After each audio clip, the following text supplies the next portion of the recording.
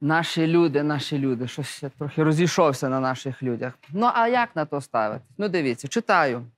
Значить, воно на прізвище Кернес в, е, в Харкові.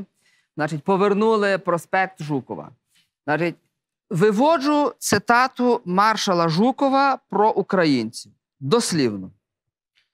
Ну, не буду зачитувати, вибачте, не в тій родині виховувався. Зачем вооружать этих хохлов? Чем больше в Дніпрі потопим, тим менше придется в Сибір ссилать.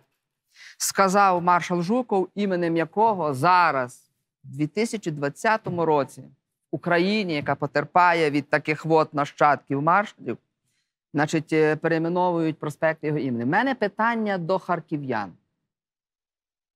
Ви підписуєтесь під цією цитатою? Поставте, будь ласка, кожен мешканець міста Харкова. Я там був кілька разів, мав прекрасні там зустрічі, презентації. Там є прекрасні українські середовища і так далі. Я говорю про загал. Кожен харків'янин, який проковтнув повернення проспекта маршала Жукова, і ще сі тішить того, бо це наша історія. Ви ставите свій підпис під, ці- під цією цитатою того, ким ви назвали свій проспект. А такі ми люди. Запитання до виборців з Дніпропетровської області.